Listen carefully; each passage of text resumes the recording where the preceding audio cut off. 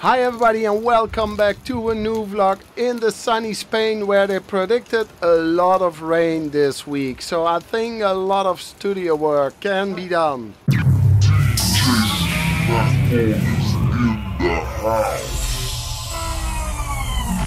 So it's Monday morning, 8 o'clock, and I'm on my way to Malaga. It's raining very hard. I have to pick up my new driver's license in Malaga. I've got the new one because the other one was expanded. And when I came back home, I went straight back to bed because I was so tired. I only had a few hours of sleep yesterday, so I took a small nap. I didn't make a vlog yesterday because it was a pretty boring day. I only was listening to music and checking for doubles and man man do I have a lot of double tracks on my hard disk.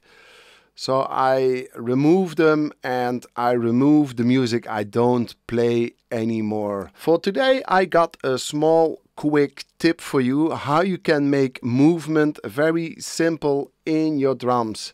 I use for that the, the plugin called Battery, but I think you can do it more or less with all the drum plugins or drum machine plugins. And here I am. I opened a battery in my Logic project. And for this example, I'm gonna use the hi-hat of the 909 kit. And what you're gonna do is select this region here. It's the volume of the envelope. You have to check if it's on and then you're gonna play around with the release.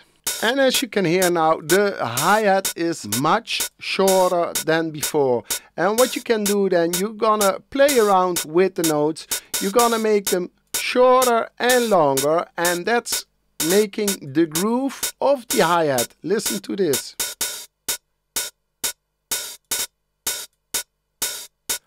And this is how it sounds with the beat, the bass and the kick.